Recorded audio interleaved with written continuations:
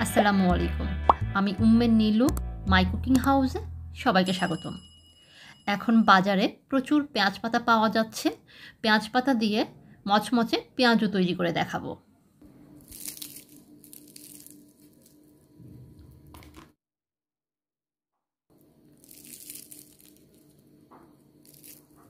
শীত বা গরম যে কোনো মৌসুমেই এইরকম মচমচে গরম গরম পেঁয়াজও কিন্তু বিকেলের নাস্তায় খুব জমবে।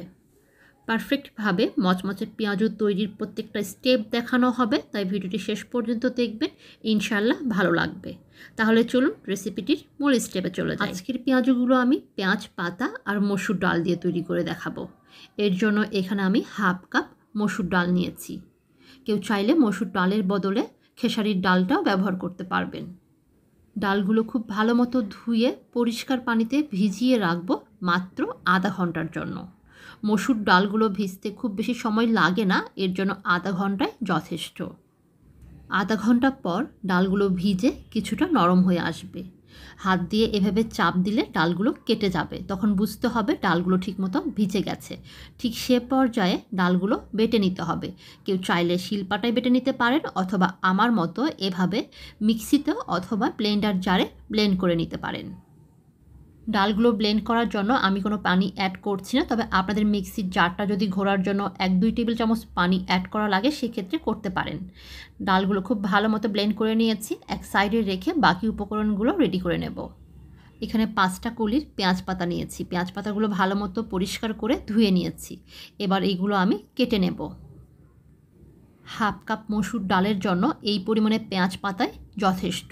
পেঁয়াজ পাতাগুলো কাটার পর কোনোভাবেই ধোয়া যাবে না। তাই আগে থেকে পেঁয়াজ পাতাগুলো পরিষ্কার করে ভালো মতো ধুয়ে নিতে হবে। শীতের মৌসুমে এই পেঁয়াজ পাতা দিয়ে পেঁয়াজও কিন্তু খেতে অসম্ভব মজার লাগে। যারা খান তারা তো জানেনি আর যারা এখনও তৈরি করে খান নাই, ঘরে মসুর ডাল আর পেঁয়াজ পাতা থাকলে এখনই তৈরি করে নিতে পারেন। আধা ঘণ্টার মতো ডালগুলো ভিজিয়েই কিন্তু পেঁয়াজও চট জলদি তৈরি করা যায়। পেঁয়াজ পাতাগুলো আমি এভাবে কেটে নিয়েছি আর একটি বোলের মধ্যে সব পেঁয়াজ পাতাগুলো ঢেলে নিচ্ছি। এর মধ্যে দিচ্ছি পেঁয়াজ কুচি তিন টেবিল চামচের মতো, মরিচ কুচি দিচ্ছি স্বাদ মতো, রসুন বাটা দিচ্ছি পনে এক চা চামচ, আদা বাটা দিচ্ছি পনে এক চা চামচ, স্বাদ মতো লবণ দিচ্ছি আর রঙের জন্য খুবই সামান্য কোয়ার্টার চামচ হলুদ গুঁড়ো দিচ্ছি। এই সব কিছু একটু আলতো হাতে মাখিয়ে নিচ্ছি। মাখিয়ে নেওয়া এই পেঁয়াজ পাতাগুলোর মধ্যে অ্যাড করছি খুবই গুরুত্বপূর্ণ একটি উপকরণ, ময়দা। ময়দার বদলে আটাও ব্যবহার করা যাবে। প্রথমে এক টেবিল চামচ ময়দা দিয়ে একটু হালকাভাবে, আলতোভাবে মাখিয়ে ওপর দিয়ে আরও এক টেবিল চামচ ময়দা ছিটিয়ে একটু লক্ষ্য করুন, আলতোভাবে কিন্তু মাখিয়ে নিচ্ছি। অনেক জোরে সোরে ডোলে ডোলে মাখার কোনো দরকার নেই, একটু আলতো হাতেই মাখিয়ে নিতে হবে।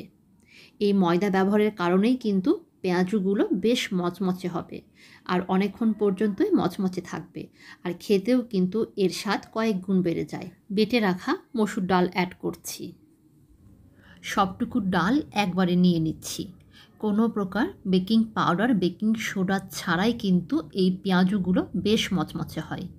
আলতো হাতে বাটা ডালগুলো মাখিয়ে নিচ্ছি। খুবই অল্প কিছু উপকরণ দিয়ে খুবই সাধারণ একটি রেসিপি আপনাদের সাথে শেয়ার করছি। রেসিপিটি ফলো করলে ইনশাল্লাহ আপনাদের খুব পছন্দ হবে। মাখানো হয়ে গেছে, এবার ভেজে নেওয়ার পালা। হাতের মধ্যে এভাবে নিয়ে আলতোভাবে বৃদ্ধা আঙ্গুল দিয়ে চাপ দিয়ে ছেড়ে দিতে হবে। তাহলে পেঁয়াজ গুঁড়োর শেপ কিন্তু বেশ ভালো হয়। আমি আপনাদেরকে আরেকটু ভালোভাবে দেখিয়ে দিচ্ছি। মাখানো ডাল হাতের মধ্যে সাইজ বুঝে নিয়ে বৃদ্ধাঙ্গুল দিয়ে এভাবে চাপ দিয়ে প্যানের মধ্যে ছাড়ার সময় বৃদ্ধাঙ্গুল দিয়েই নেমে দিলে সেই পেঁয়াজুগুলোর শেপ কিন্তু বেশ ভালো হয়। পেঁয়াজগুলো সবগুলো ছাড়ার পর সাথে সাথে নাড়াচাড়া করা যাবে না, এতে করে নরম এই পেঁয়াজগুলো কিন্তু ভেঙে যাবে। তাই চেষ্টা করবেন এক সাইডে যখন গা একটু শক্ত হয়ে আসবে, ঠিক সে পর্যায়ে উল্টে পাল্টে দিতে। আর চেষ্টা করবেন পেঁয়াজগুলো ডুবে তেলে ভাজতে। এতে করে পেঁয়াজগুলো কিন্তু বেশ মচমচে হয় আর ভালো মতো চারিপাশে সমান তালে ভেজে নেওয়া যায়। চুলার জাল খুব আস্তে বা খুব বেশি হাইয়ে রাখলে পেঁয়াজগুলো ভাজা ভালো হয় না। তাই চেষ্টা করবেন চুলার জাল মিডিয়ামে রেখে এমনভাবে ভাজতে হবে যেন আট থেকে দশ মিনিট সময় ধরে এক এক ব্যাচ ভাজা যায়। এতে করে পেঁয়াজগুলো বেশ মচমচে হবে। আপনি যদি চুলার জাল বেশি বাড়িয়ে খুব তাড়াতাড়ি অর্থাৎ দ্রুত ভেজে নেওয়ার চেষ্টা করেন, সেক্ষেত্রে পেঁয়াজুগুলো গা পুড়ে যাবে, খেতে ভালো লাগবে না, পেঁয়াজুগুলো নরম হবে। আবার একইভাবে যদি পেঁয়াজু ভাজার সময় চুলার জাল একটু লো ফ্লেমে রেখে ভাজেন, সেক্ষেত্রে দেখা যাবে পেঁয়াজুগুলো সবগুলো ভেঙে ভেঙে যাচ্ছে। তাই চেষ্টা করবেন পেঁয়াজুগুলো ভাজার সময় চুলার জাল মিডিয়ামে রাখতে। আমি আশা করছি আমার আজকের টিপসগুলো নতুন রাঁধুনিদের জন্য কাজে আসবে। ভালো লেগে থাকলে প্লিজ কমেন্ট সেকশনে লিখে জানাবেন। চাইলে আপনাদের ফ্রেন্ডস এবং ফ্যামিলির মাঝে আমার রেসিপিগুলো শেয়ার করতে পারেন। আর রেসিপিটি ফলো করলে চাইলে সেই ছবিটা আমার ফেসবুক গ্রুপে শেয়ার করতে পারেন। ফেসবুক গ্রুপের লিঙ্ক ডিসক্রিপশানে দেওয়া থাকবে। শেষ একটি টিপস হচ্ছে পেঁয়াজগুলো ভাজার সময় যখন গা শক্ত হয়ে এরকম কালার আসতে শুরু করবে, ঠিক সে পর্যায়ে অনবরত উল্টে পাল্টে নেড়ে চেড়ে ভাজলে পেঁয়াজগুলোর চারিপাশে সমান তালে ভাজা হবে। কালারগুলো সমান তালে আসবে। একই সাথে পেঁয়াজগুলোর গাও কিন্তু খুব ভালো মতো মচমচে হবে। সবাই খুব ভালো থাকবেন। পেঁয়াজু তৈরির সময় এই ছোট ছোট স্টেপগুলো খেয়াল রাখবেন। ইনশাল্লাহ আপনার হাতের পেঁয়াজুও অনেক মজার হবে। ভিডিওটি শেষ পর্যন্ত দেখার জন্য অসংখ্য ধন্যবাদ। আল্লাহ হাফিজ।